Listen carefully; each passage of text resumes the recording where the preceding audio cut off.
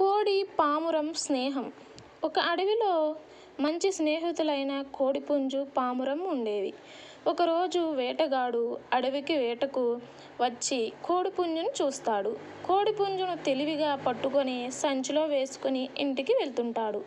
ఇదంతా చెట్టు మీద నుంచి గమనించిన పామురం స్నేహితుడిని ఎలాగైనా కాపాడుకుంటుంది.